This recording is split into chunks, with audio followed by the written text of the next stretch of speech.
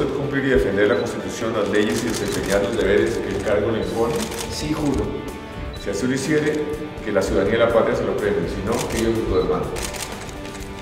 Queremos crear conciencia de un ejercicio ético del devenir político y esa va a ser como nuestra tarea. Técnica administrativa, gerencia pública y también ética en el ejercicio de lo político.